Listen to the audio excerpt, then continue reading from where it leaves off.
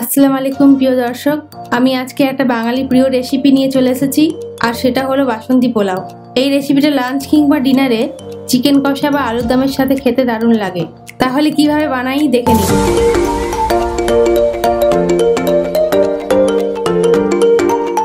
এখানে আমি পাঁচশো গ্রাম গোবিন্দভোগ চাল নিয়েছি, যেটা আমি ভালো করে ধুয়ে আধ ঘণ্টা ভিজিয়ে জল ঝরিয়ে নিয়েছি।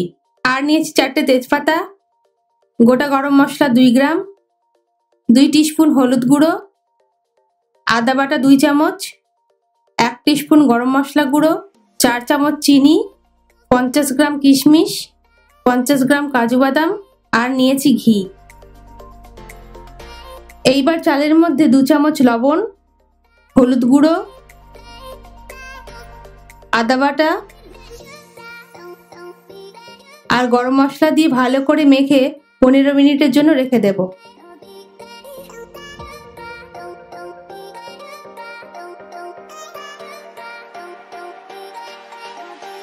এবার একটা কড়াইয়ে ঘি গরম করে তেজপাতা, গরম মশলা দিয়ে তিরিশ চল্লিশ সেকেন্ডের জন্য ভেজে নেব। এবার কাজু বাদামগুলো দিয়ে হালকা লাল লাল করে ভেজে মেখে রাখা চালটা দিয়ে দেব।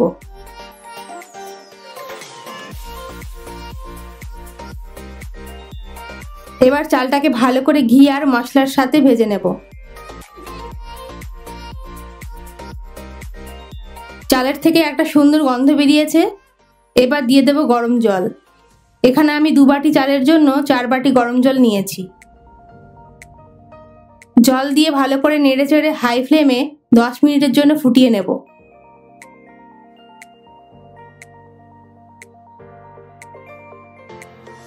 দেখুন, এবার জলটা আমার কম হয়ে এসেছে।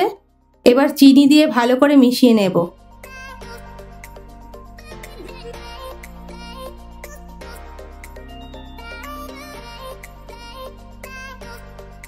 এবার ঢাকনা চাপা দিয়ে দশ মিনিটের জন্য গ্যাসের ফ্লেমটা লো করে রেখে দেব।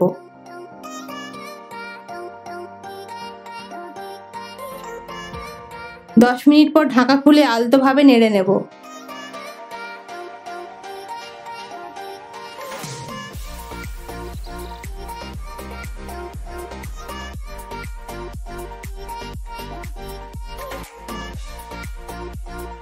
এইবার দেখুন আমার বাসন্তী পোলাও রেডি এবার এটাকে গরম গরম সার্ভ করব।